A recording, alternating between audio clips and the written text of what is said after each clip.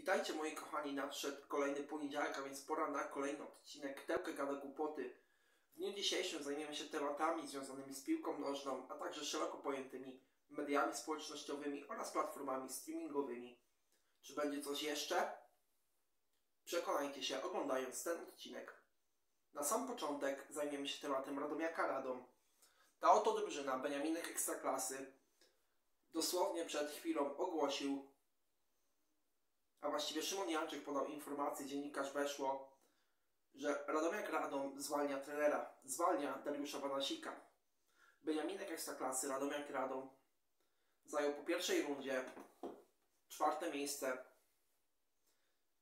Trener Dariusz Wanasik z Radomiakiem Radom wygrał drugą ligę z najlepszą ofensywą i defensywą w sezonie, dotarł do finału barażu Ekstraklasę. Jako Beniaminek pierwszej ligi a potem wygrał te rozrywki, nadrabiając 12 punktów straty do Brookbet Termaliki Nieciecza jako Beniaminek najwyższej ligi Radomiak skończył jesień na czwartym miejscu w tabeli, dwukrotnie wygrywając z mistrzem Polski Legią Warszawa. Do dziś Radomianie mogą się pochwalić rekordami sezonu. Najwięcej zwycięstw z rzędu 6, najwięcej meczów bez porażki 12. To jest informacja z artykułu Szymona Janczyka na stronie weszło.com. I wiecie co jest najlepsze? Radomiak Radom to jest drużyna, która nie ma własnego stadionu. Przypomnijmy, że mecz, że Radomiak swoje mecze rozgrywa na stadionie przy ulicy, na stadionie Broni Radom, bo ich stadion od kilku lat, 100 lat jest w budowie. Bo jak to mówią, Radom siła w precyzji.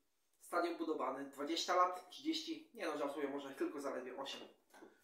Nie ma porządnych boisk treningowych. Klub jeździ trenować pod psiach takie to realia, że w Radomiu, jak i sam Radomiak nie ma tych boisk treningowych i nie mają gdzie piłkarze poprawiać swoich umiejętności i zdolności i trener Dariusz Banasik nie miał jak z nimi pracować.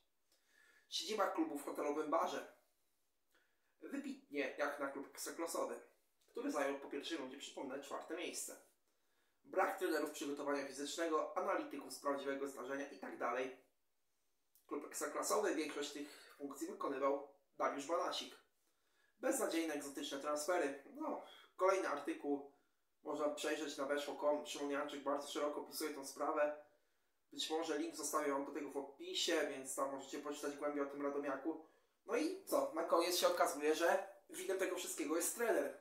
Trener, który owszem, podczas tej rundy, moi drodzy widzowie, wygrał zaledwie jedno spotkanie na powiem Wam ile rozegranych na 11 rozegranych spotkań. No ale no ciężko oczekiwać od Beniaminka, żeby wykonywał cudów. No ale jak widać Radomiu oczekiwali cudów. A zastępcą trenera Dariusza Monasika na, jako szkoleniowca Radomiaka Radom ma zostać Mariusz Lewandowski. Ten sam Mariusz Lewandowski, o którym wcześniej czytałem Wam, że on prowadził Brookbet Termalika, który dopędził Radomiak Radom. Ten sam Brookbet Nieciecza Aktualnie gra o utrzymanie w tej lidze i prowadził do 20 kolejki trener Mariusz Lewandowski. Trener Mariusz Lewandowski uzyskał średnią 0,9 punkta na mecz w 20 spotkaniach. Jest to wynik katastrofalny, tragiczny i słaby. Ale jak widać, powiązania tego oto szkoleniowca z ludźmi ściągającymi zawodników do Radomia Radą sprawiają, że to Mariusz Lewandowski zostanie nowym szkoleniowcem. Poniekąd to jest bardzo dobra informacja, bo jest też pewne, że już raczej ten szkoleniowiec nie zostanie selekcjonerem kadry do lat 21. Więc jakaś pozytywna informacja w tym całym zamieszaniu jest. Ale no, zwolnienie to jest jedna z największych katastrof, jedna z moim zdaniem większych głupot w polskiej piłce od wielu, wielu lat, a kolejna głupota w polskim futbolu już za chwilę. Śląsk Wrocław to kolejny temat, którym pragnę się zająć. Ten oto klub, wrocławski klub sportowy Śląsk Wrocław, grający w PKO Ekstraklasie przegrał na poprzedni weekend, czyli ten, który był teraz, mecz z Brookbetem Termaliką Nieciecza 0 do 4 na własnym stadionie. Jest to kolejna porażka Śląska Wrocław, który niewątpliwie i brak kolejny mecz, w którym Wrocławianie wygrali spotkania, czyli czwarty raz z rzędu.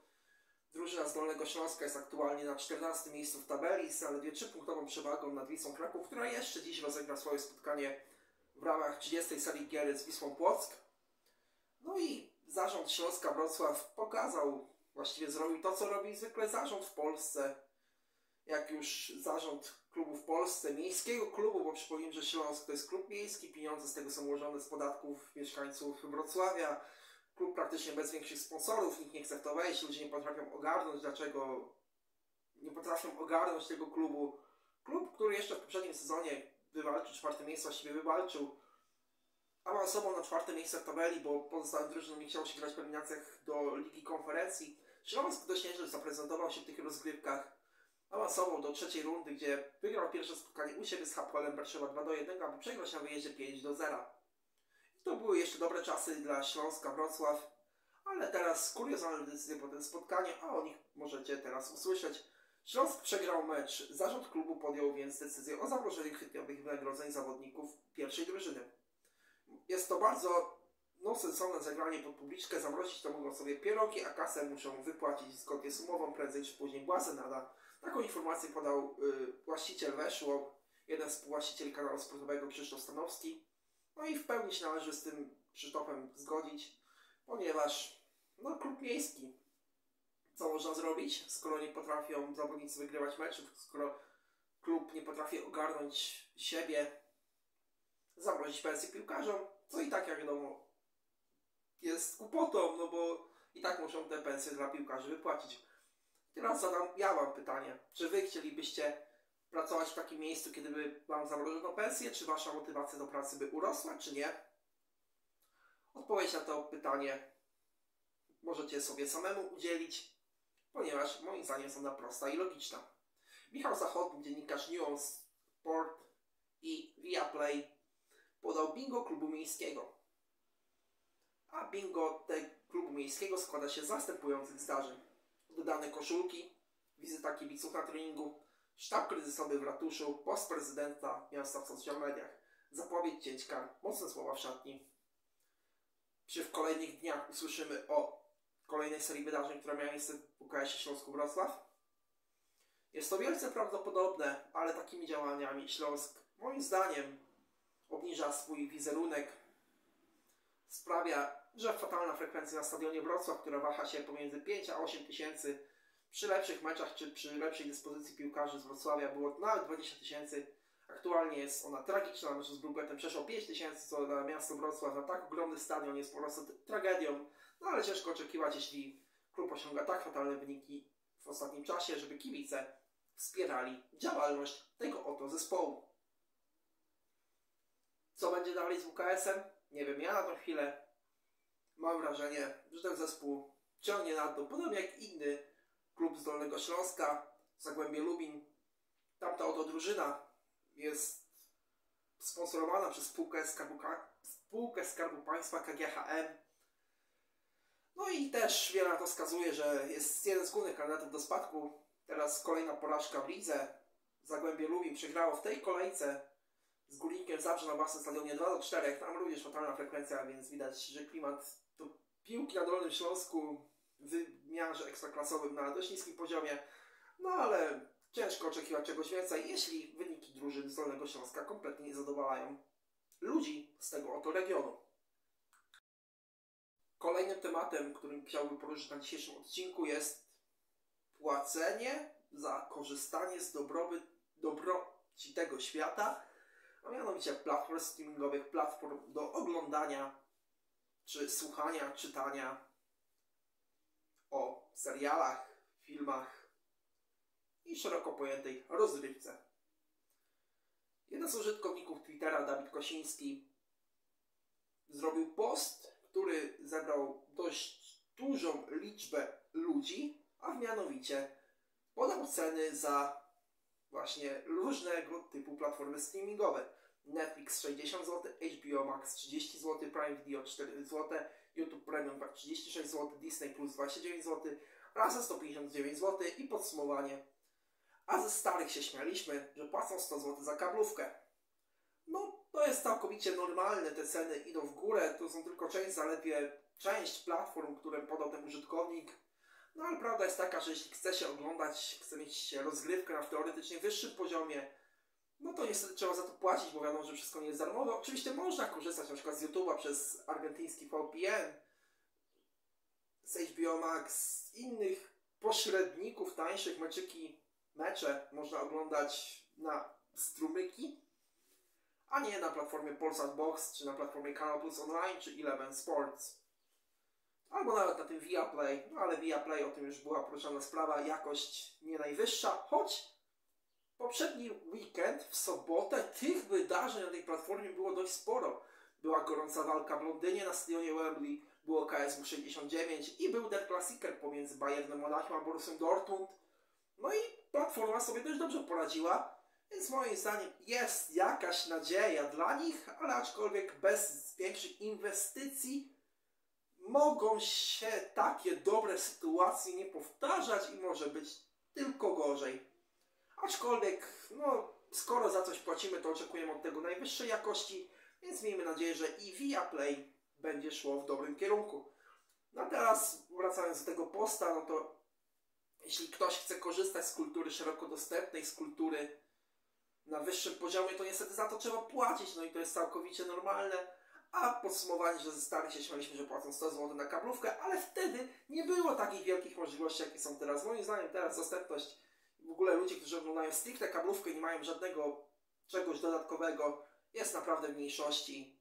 I trzeba się z tym pogodzić. Każdy, kto tworzy dobre albo i nawet niedobre, ale jest to oglądane, oczekuje za to normalnej zapłaty.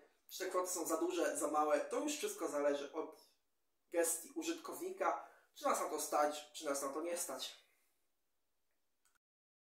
Kolejny post Twittera, jedna z użytkowniczek albo użytkowników ciężko zweryfikować na podstawie tylko niku i zdjęcia, bo wiadomo Twitter to jest medium dostępne dla każdego, nie trzeba tam podawać absolutnie swoich danych. A post taki, ale nie fajny totalnie pomysł z tymi kaloriami wypisanymi, nie na miejscu i trigger, trigger mocny. Proszę sobie wyobrazić, że na zdjęciu znajdują się pączki, donaty czy inne tego typu słodkości i na nich, właściwie pod nimi opisane są ile taka jedna sztuka ma kalorii. Ja doskonale uważam to fantastyczny pomysł, skoro wiemy jak to jest w piekarni, jak bardzo rzadko kiedy, czy w sklepach typu Biedronka, Little Audio, Aldi, Auchan, nie ma podanych kalorii za cenę produktu, za kalorii, jaka znajduje się w danym, danym, danym, no i to jest to moje wielkie zakłopotanie, ale już za chwilę pewnie będę wiedział, co w danym, a właśnie w danym produkcie spożywczym, które chcemy spożyć. I tu jest, w komentarzach wylała się lawina, że jak to tak, kalorie, ależ absolutnie jest bardzo potrzebne, no bo skoro są ludzie, którzy dbają o to, co jedzą, to dla nich jest dużo łatwiej, jak nie muszą kombinować w internecie albo wypisywać kalorii z produktów podobnych. Ale oczywiście hejt się wylewa, jak to zwykle bywa, fake konta, albo i nie fake konta, konta pod autentycznym zdjęciem, pod autentycznym imieniem i nazwiskiem, medium, w którym może robić dosłownie wszystko, co chce się i jak się chce, ale uważam samo pokazanie posta, samo zagranie sieci, samo zagranie sklepu, pokazanie ile kalorii w danym produkcie, to jest bardzo dobry ruch.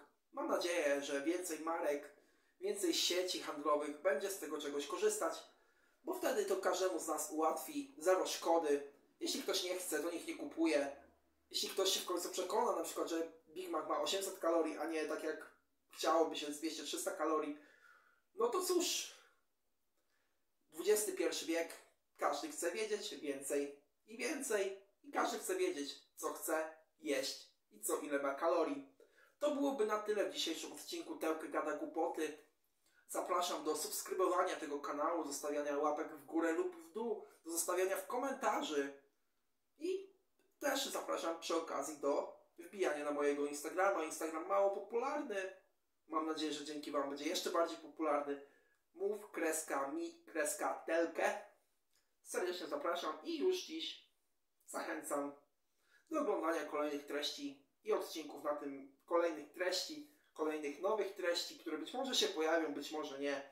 To wszystko zależy od pogody, a pogoda dzisiaj za oknem dość słaba. Więc to tyle. Do zobaczenia w następnych odcinkach Tełkę Gada Głupoty i nie tylko.